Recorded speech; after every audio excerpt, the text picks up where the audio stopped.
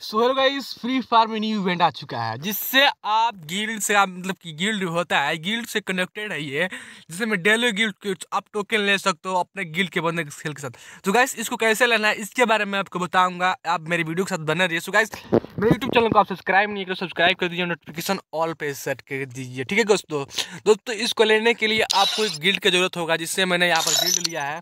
आपको एक guild join कर लेना है जैसे मैं गिल्ड ज्वाइन किया मैं खुद गिल्ड लीडर हूँ तो ज्वाइन किया और उसके बाद दोस्तों इस अपने गिल्ड के बंदे के साथ खेलना है दो एक मैच खेलना है ठीक है दोस्तों?